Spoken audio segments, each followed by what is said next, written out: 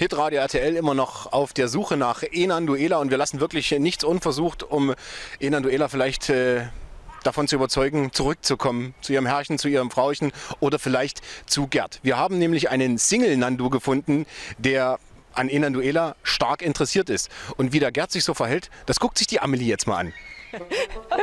Neben mir steht die Petra Hofmann vom AWO Pflegeheim Kossebaude. Und vor mir stehen zwei. Wer seid ihr? Das ist Fritz. Und du? Kunigunde. Und hier vorne ist der Gerd. Ich habe ihn mir ehrlich gesagt ein bisschen größer vorgestellt. Frau Hoffmann, wie groß ist denn der Gerd jetzt? Ich schätze mal 1,50, wenn er sich richtig lang macht.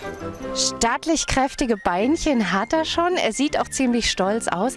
Ist das jetzt schon Balzen? Wir haben ihn ja von Weitem rufen hören. Das ist der Balzruf.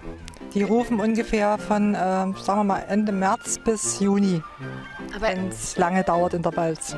aber er ist ja jetzt nur ganz alleine, ne? Ja, aber trotzdem, das Balzgeboren ist da. Wir hätten da jetzt ein schönes Weibchen für ihn.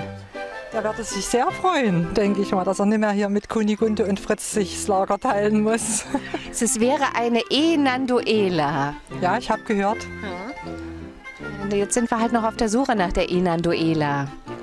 Und was passiert dann, wenn wir sie bringen würden? Dann darf sie sich hier auf dem Gelände mit zu Hause fühlen und wird von uns mit versorgt und betreut. Sind Sie denn auf Nachwuchs eingestellt? Natürlich. Wa- Was macht er denn normalerweise? Ist er den ganzen Tag hier im Gehege? Ja, ja. Er ist den ganzen Tag hier im Gehege, läuft, hat hier seine Wege sich schon getreten, wie Sie sehen. Und viel gekackt? Wie ich äh, wa- wahrscheinlich dann nachher noch riechen? Ja, ordentliche Haufen kommen schon hinten raus beim Nandu. Das sollte man wissen, wenn man sich welche kauft. Okay, also er ist jetzt gerade in Balzstimmung. Er würde sich auf ein Weibchen freuen. Auf Nachwuchs ist man eingestellt. Kann man, kann man ihn streicheln? Ich habe jetzt gerade meine Hand hingehalten und äh, ihn locken. Und, aber jetzt ist er erstmal ein bisschen distanziert, tiefer. ich habe es ja gehört von Weißen. Ja, das äh, machen die eigentlich nur, wenn sie sich bedroht fühlen oder ihr Revier kennen. Hier bin ich. Aber jetzt guckt er schon ganz aufgeregt. Haben Sie es gesehen? Mirko wird äh, unterdessen angemacht von einem Ziegenbock. Er ist wahrscheinlich auch brunftig äh, und kackt nebenbei, während er an dir riecht. Ob das was zu bedeuten hat? Fritz, den können Sie streicheln.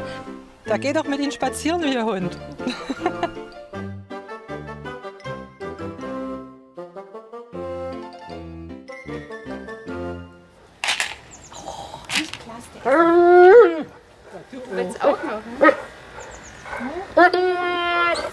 Hitradio